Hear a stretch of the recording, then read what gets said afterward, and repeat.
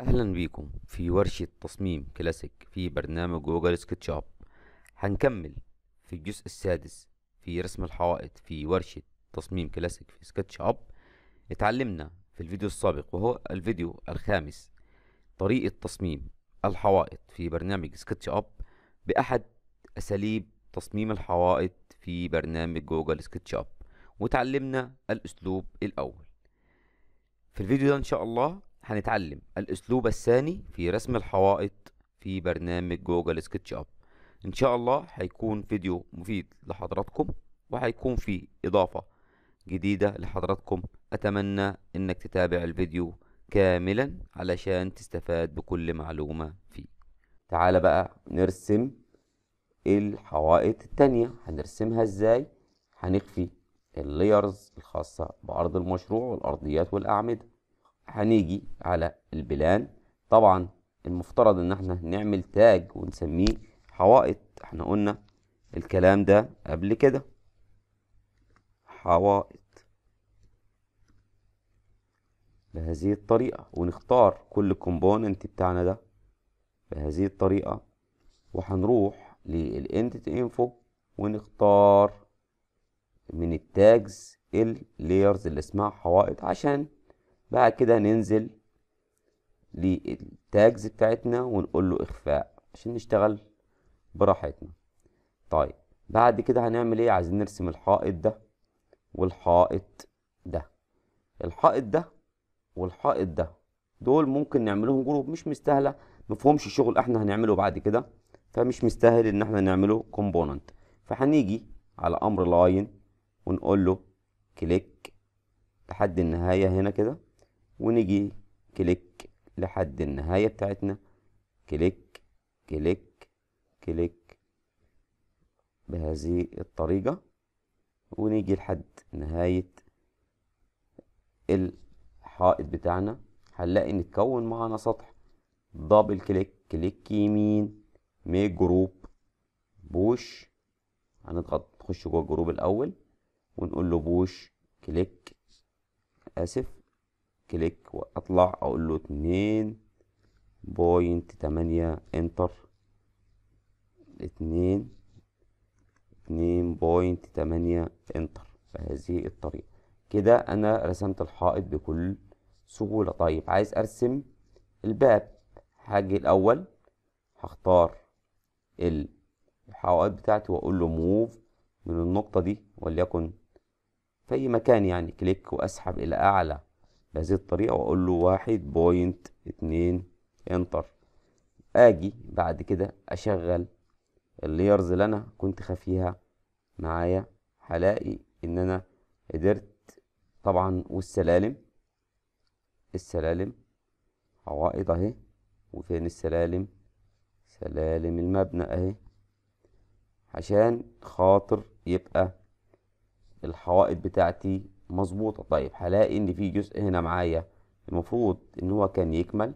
هعمله إزاي بقى؟ هضغط double click على الحائط بتاعي وأخش من أسفل كده وأبتدي أختار أمر line وأضغط click في الجزء ده مع click في الجزء ده كده عشان أفصل هذا الجزء معايا. وهاجي الناحية التانية بهذه الطريقة وأضغط click هنا و click في النهاية. واجي على أمر push هلاقي إن ده أصبح سطح منفصل معايا أضغط click وأسحب لحد ما أصل لآخر درجة هيبدأ من عندها الحائط click بهذه الطريقة. ممتاز. عايز أرسم الباب أو فتحة الباب اللي معايا في المنتصف هختار أمر line وآخد المنتصف بتاعي بهذه الطريقة أهو. بعد كده هقول له tape measure click واسحب أقول له متر عايز الباب ده اتنين متر و click واقول له متر enter بهذه الطريقة واجي برضو tape measure من الارضية دي وهسويها بالنهاية بتاعتي بهذه الطريقة واقول له أمر المستطيل. هنشوف الشباك بتاعنا شكله عامل إزاي. في جزء دائري هاجي برضو من tape measure من هنا وأقول له متر كمان بهذه الطريقة عشان يبقى الجزء ده كام؟ معايا. الجزء ده متر تمانين والجزء ده متر. لا هرفعه شوية. هرفعه إزاي؟ هختاره.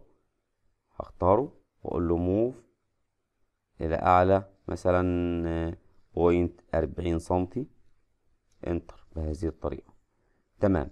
هعمل إيه بعد كده يا باشمهندس؟ هاجي على أمر line وهاجي من النقطة دي لحد النهاية وهاجي بعد كده من النقطة دي لحد النهاية.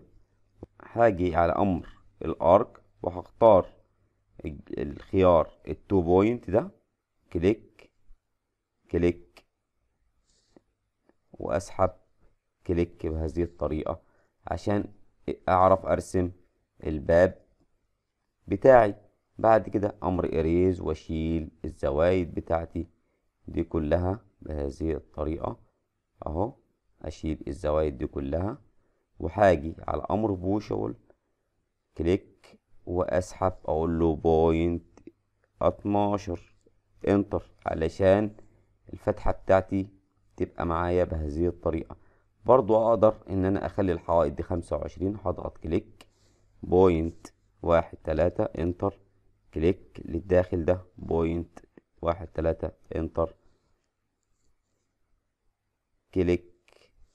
اسف اهو. click. point واحد تلاتة. enter.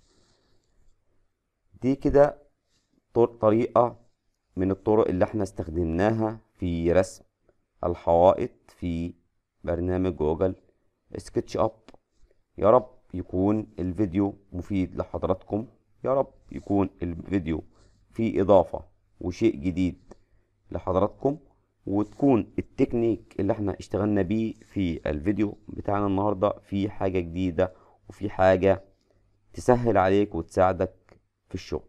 آسف على الإطالة وزي ما قلنا قبل كده لو حضرتك عارف المعلومة في كتير غيرك مش عارف المعلومة أشكركم ولو عجبك الفيديو أتمنى أتمنى الإعجاب والاشتراك في القناة. وتنويه أخير في قناة جديدة إحنا عملناها خاصة ببرنامج الريفت هتلاقوا إن شاء الله اللينك بتاعها في الوصف موجود للي حابب يشترك في القناة بتاعتنا. أشكركم. السلام عليكم ورحمة الله وبركاته.